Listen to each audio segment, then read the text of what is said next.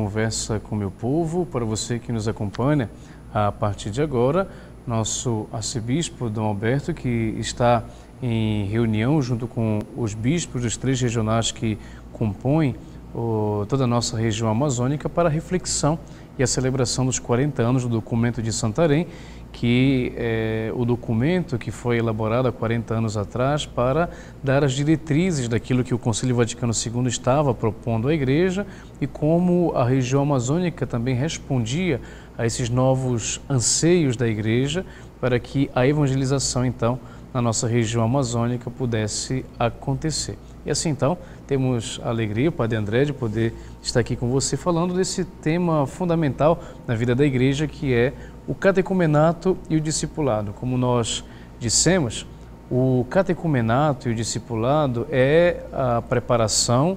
uh, que se fazia nos primeiros séculos da igreja para os sacramentos de iniciação cristã, catecumenato e o discipulado. E então, ao longo desses programas, nós fomos desenvolvendo justamente a reflexão sobre o que significa o catecumenato, o que significa o discipulado na vida da igreja e o que que isso resultava na vida de fé daquele povo. Nós falamos do primeiro século e do segundo século da igreja, onde no primeiro século ainda não era muito claro o que significava a catecumenato, o que significava discipulado, a causa ainda da, do início da estrutura, até mesmo teológica, da vida da igreja, porém, nós temos, e como falamos aqui, eh, testemunhos escritos de que esses termos apareciam na, na, nos escritos do Novo Testamento e também dos padres da igreja, porém, ah, não tanto no modo como nós entendemos hoje. Se entendia como uma certa instrução, uma certa iniciação, porém, como vimos, em etapas muito distintas, em etapas realmente diferenciadas, das quais nós então percebemos o processo com o qual isso era vivido ao longo da igreja. E concluímos, a partir dessas reflexões, que o catecumenato, portanto, se entendia como uma iniciação, uma preparação à vida de fé da igreja, a, aos sacramentos da igreja, em vista de um discipulado. O que é este discipulado? É justamente uh, o resultado daquilo que eu conheço a partir do, do, do catecumenato. O catecumenato iniciava o, o, o candidato à vida de fé da igreja, o discipulado, então, já era esse momento em que, instruído e consciente do que era a fé cristã, então ajudava também outros a poderem uh, entender e abraçar esta fé, que então tinha como ápice justamente o sacramento do batismo, já que essa preparação era e, e, e deveria ser feita no seio da igreja, no seio da comunidade cristã, então aparece o rito do, do, do, do, do batismo como essa passagem até mesmo visível daquilo que era ah, o compromisso daquele candidato, daquele catecúmeno, assim chamado, a poder então ah, confirmar na sua vida, no seu coração, o que era fé. E nós dizíamos então que essa vida de fé, que tinha como ápice o sacramento do batismo não terminava ali naquele momento, mas que também dava continuidade, se continuava por meio justamente de características fundamentais que nós hoje conhecemos, que são ah, o tempo de penitência, de conversão e de ascese. E isso já é bem mais claro no segundo século da Igreja, quando você, eh, sendo instruído na vida de fé, na vida da doutrina da igreja, então você também vivia determinados eh, aspectos que eram justamente aquele da penitência. Você, e como nós dissemos no programa passado, penitência é quando você se propõe a fazer algo que possa fazer lembrar sempre ao, seu corpo, à sua mente, ao seu comportamento de que você tem um propósito do qual você quer chegar. E daí então você faz penitência. Penitência que lhe ajuda a poder viver um processo de conversão. Se você se penitencia, é porque você se arrependeu de alguma coisa, e arrependendo-se de alguma coisa e querendo emendar-se, você está vivendo um processo de mudança. Você não quer ser mais aquele que você era antes. E por isso, então, a igreja começou a chamar isso de, de, de conversão. Conversão, mudança de vida. Porém, essa penitência, essa conversão, não se dá da noite para o dia. É, isso é até uma coisa que para nós serve como consolo.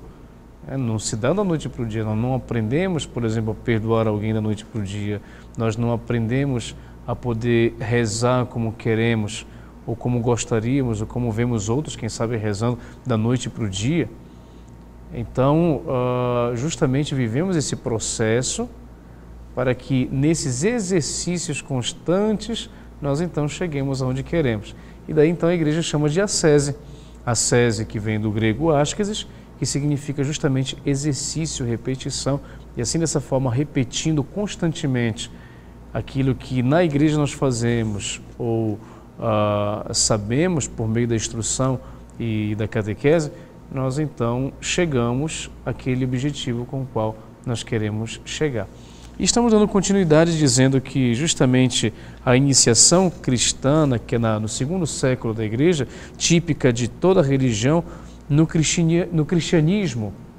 ela é finalizada, ela tem como objetivo uh, introduzir pessoas provenientes do paganismo ou do judaísmo no discipulado de Cristo, recebendo os três sacramentos, ou seja, o batismo, a Eucaristia e a Crisma. Então, dessa forma, nós entendemos sempre mais que a vida da igreja, a vida de fé, ela está sempre profundamente ligada àquilo que nós então entendemos sobre o que é a vida da igreja, o que é a fé, a partir justamente dessa introdução que se faz no cristianismo aos três sacramentos.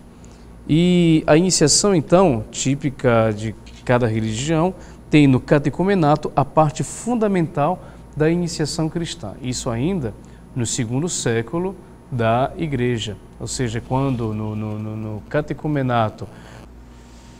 nós vimos que na vida da igreja eh, os sacramentos de iniciação cristã são justamente eh, parte da, do processo com o qual aquele que era introduzido à fé cristã vivia.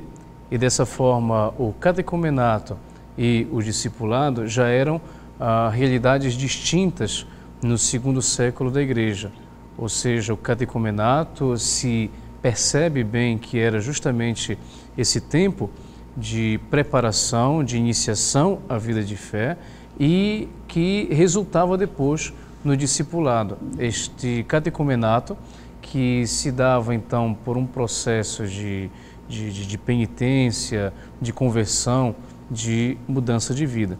E vamos entender também que no caminho da vida da igreja, ou como toda e qualquer religião que inicia um candidato à, à, vida de fé ou aquilo que quer na, na, na, na doutrina que se professa naquela religião, se dava então no cristianismo a iniciação àqueles que vinham do paganismo ou do judaísmo. E dessa forma, então, né, recebendo o candidato, a igreja preparava aquele candidato que vinha do paganismo ou do,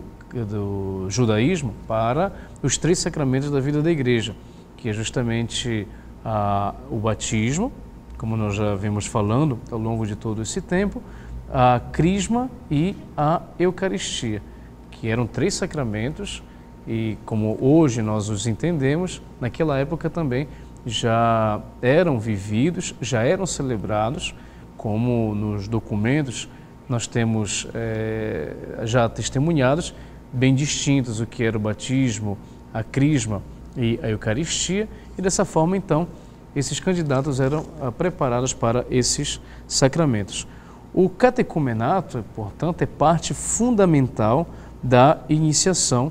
cristã.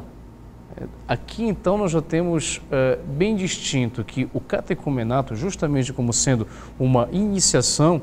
a doutrina cristã deveria ser bem feito, deveria ser bem desenvolvido para que se pudesse depois chegar ao discipulado. E assim então, é notável o empenho da igreja antiga em selecionar e preparar os candidatos ao batismo por meio de um processo de iniciação, de crescimento e de aprendizado, por meio dos quais a totalidade da pessoa se transforma, orientando a própria vida em uma forma radicalmente nova em direção ao Deus de Jesus Cristo e à comunidade da igreja. Então aqui você percebe que era já bem distinto, era já bem claro na, no segundo século da igreja que se escolhiam os candidatos para o processo de preparação. Aqueles candidatos que com certeza demonstravam uma certa abertura àquilo que era a religião cristã, que provinham ou do judaísmo ou do paganismo, eram então iniciados, é, eram justamente, né, é, é, é, viviam um processo de crescimento,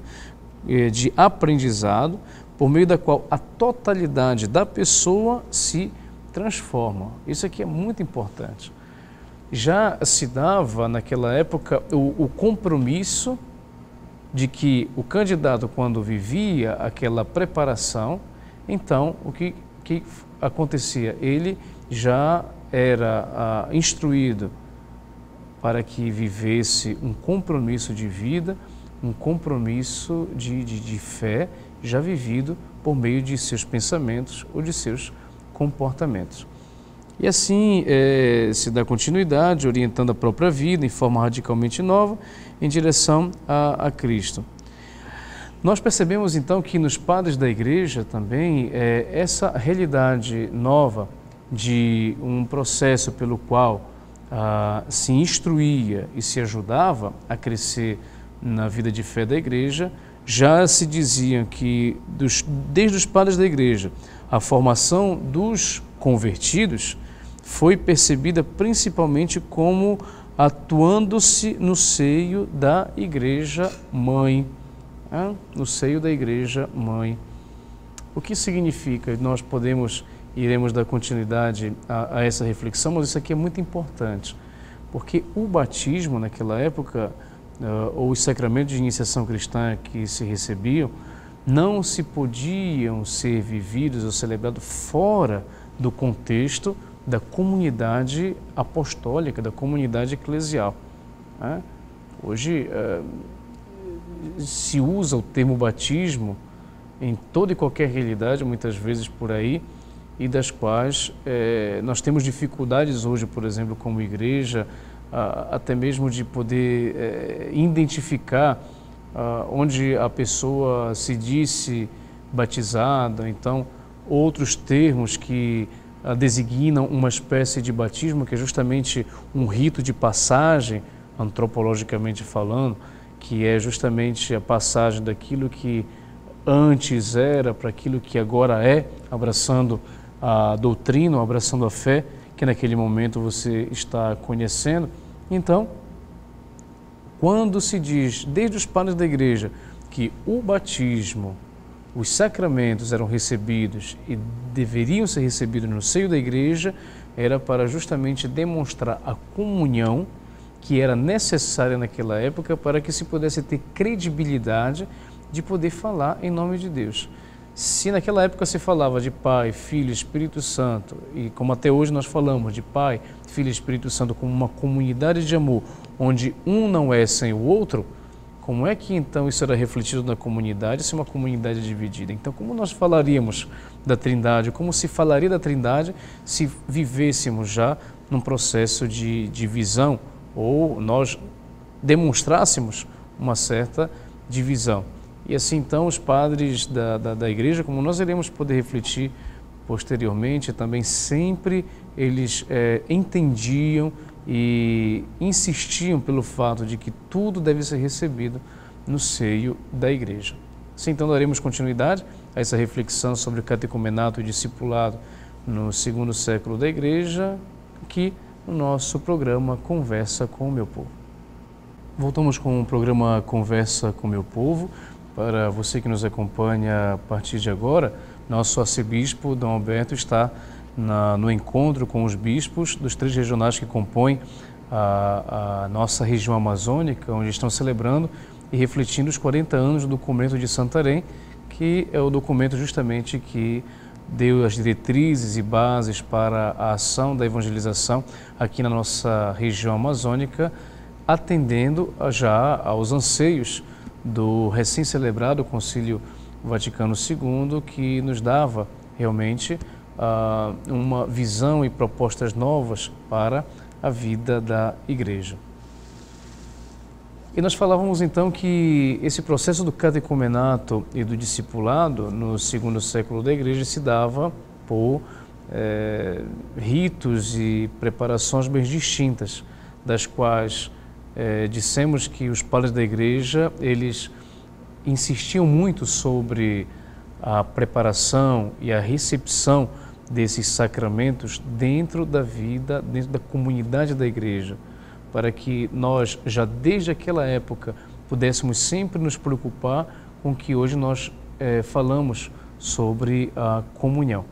E assim, nas raízes do catecumenato e do discipulado, nós poderíamos dizer então que já que catecumenato e discipulado nos dão a ideia de um início, de uma iniciação, de uma preparação à vida de fé, então, como isso aconteceu nas suas raízes básicas? E assim, então, nós, é, no Novo Testamento, poderíamos atestar que a primeira pregação cristã nós temos em torno do ano de 30 ou 70 depois de Cristo. Né? Então, o Novo Testamento não oferece um projeto verdadeiro e próprio de preparação ao batismo ou a, ao discipulado, mas oferece um conteúdo, um processo catecumenal como verdade vivida. Isso aqui é muito interessante, meus irmãos e irmãs, nós entendemos porque tudo o que hoje na vida da igreja temos como estrutura de preparação, com essas etapas que nós estamos conversando aqui ao longo desses programas, é claro, são etapas, são uh, ritos, são aspectos que foram sendo desenvolvidos ao longo dos séculos, que têm com certeza o seu fundamento na Sagrada Escritura, porém, como acabamos de dizer aqui, o Novo Testamento, por exemplo, que é o documento base hum, da, da, da, do conteúdo da fé, não tem descrições eh, detalhadas sobre como isso era feito. Ou seja, nós temos um conteúdo que justamente no, uh, até hoje nós é, instruímos e vivemos na vida da igreja e na preparação para esses sacramentos. Então, não oferece o Novo Testamento um projeto verdadeiro e próprio de preparação, não nos oferece um, um, subsídio de preparação, mas nos oferece um conteúdo. Né? A igreja primitiva não admitia nenhum tipo de preparação, nenhum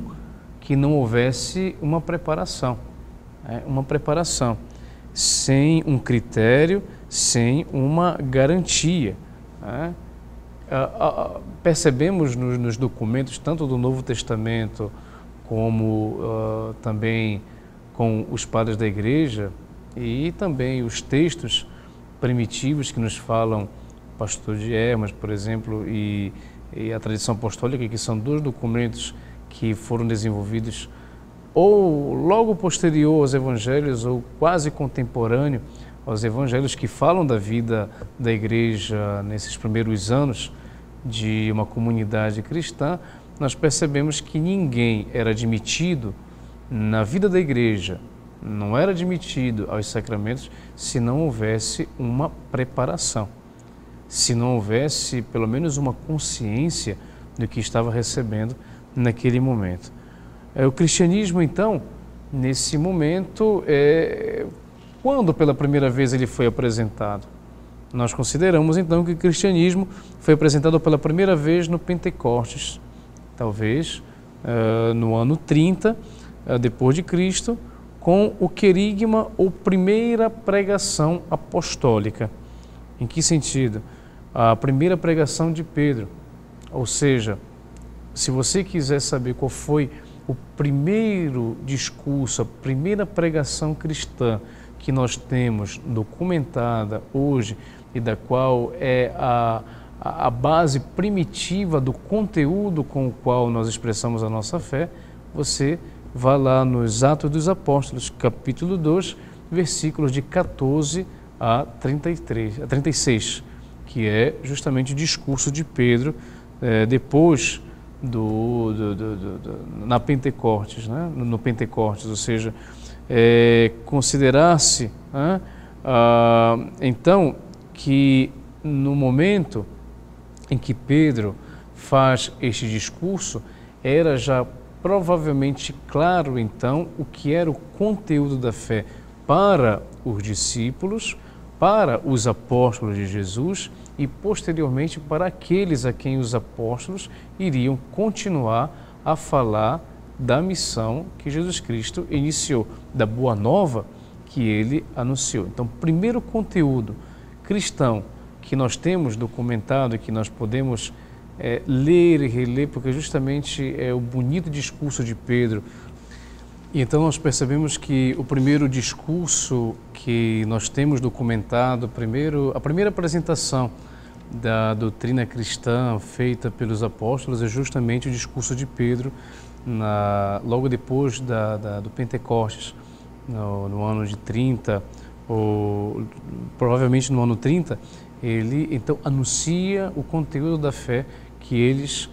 é, entenderam, que eles escutaram, amadureceram no que diz respeito à observação que fizeram de Jesus Cristo e agora eles têm essa missão e pela primeira vez eles fazem isso, de poder dar continuidade àquilo que Jesus disse, pregando sobre aquilo que escutaram.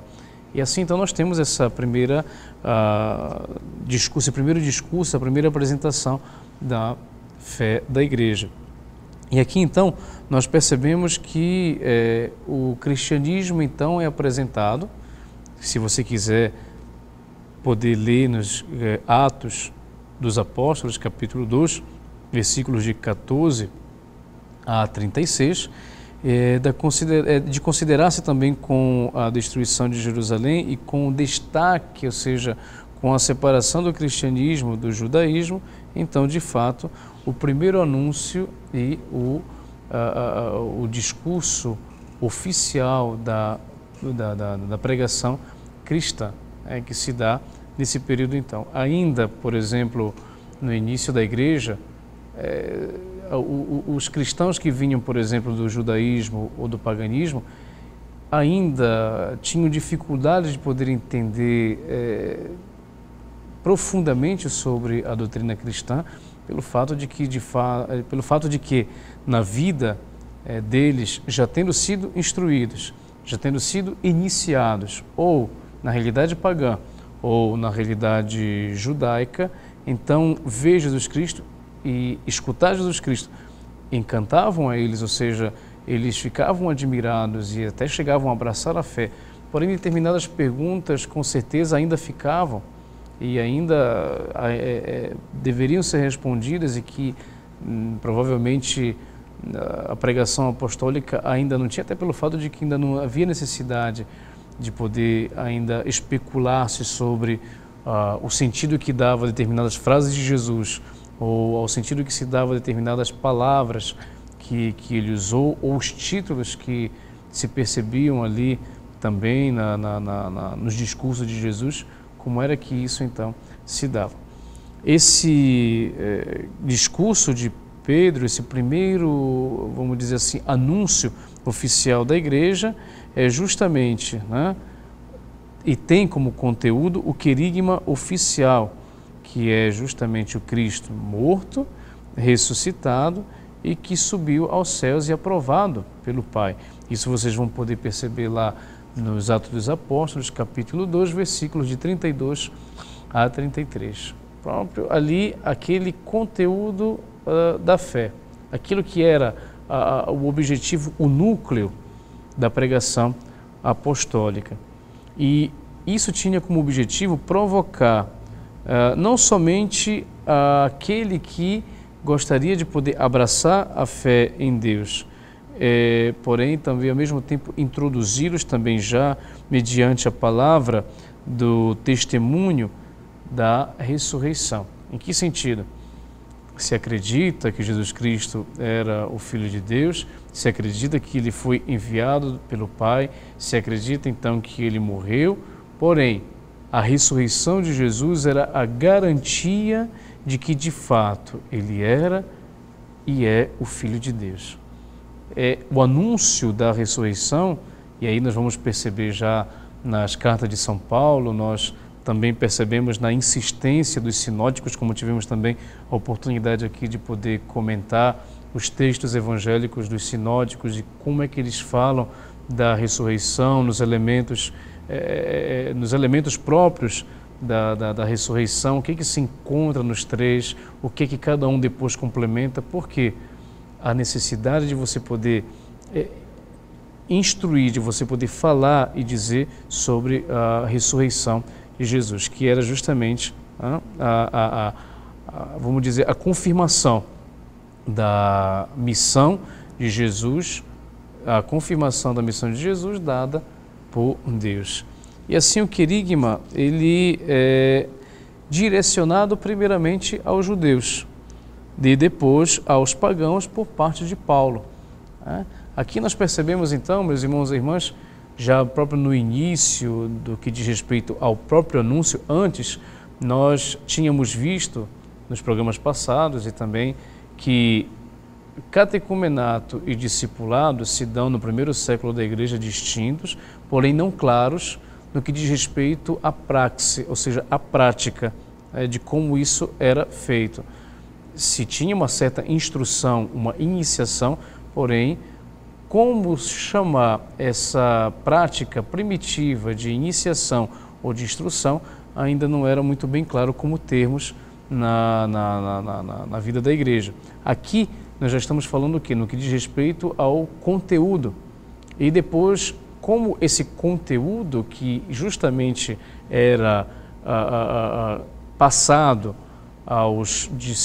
aos catecúmenos, era passado aos uh, que abraçavam a fé era passado aos convertidos, então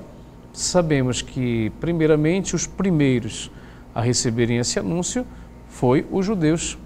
os judeus e depois os pagãos com São Paulo. Daí é por isso que São Paulo é chamado o apóstolo dos gentios, São Paulo, porque ele justamente teve grande importância pelo fato da sua cultura, pelo fato de ter sido um homem que profundamente conheceu a Sagrada Escritura uh, como Antigo Testamento, porque ele estudou na escola do, do, do, dos fariseus em Jerusalém, então ele sabia toda a, a, a estrutura, a prática religiosa e fundamental de um verdadeiro judeu na sua época, que também consistia no conhecimento profundo do Antigo Testamento, da Torá, para que pudesse depois né, lê-la e refleti-la na sinagoga, que depois acabou ajudando Paulo a confirmar que Jesus Cristo de fato era o Filho de Deus. Mas não se reduziu aos judeus, mas ele foi justamente e teve como destinatário os pagãos, a causa também da possibilidade da viagem que ele fez ele então entrou em contato com os pagãos e viu que os pagãos eram abertos também a poder ouvir falar de Jesus Cristo. E assim, dessa forma, meus irmãos e irmãs, nós estamos vendo esse processo do catecumenato, do discipulado, agora tendo visto o conteúdo daquilo que era transmitido e passado na vida da igreja e do qual nos ajuda a entender sempre mais a nossa vida de fé. Para você que está nos acompanhando, então, que esta bênção possa ajudá-lo a entender sempre mais a sua vida de fé, que possa chegar até aqueles que precisam da sua família, seus amigos e conhecidos seus. O Senhor esteja convosco, Ele está no meio de nós. Abençoe-vos o Deus Todo-Poderoso, Pai, Filho, Espírito Santo. Amém.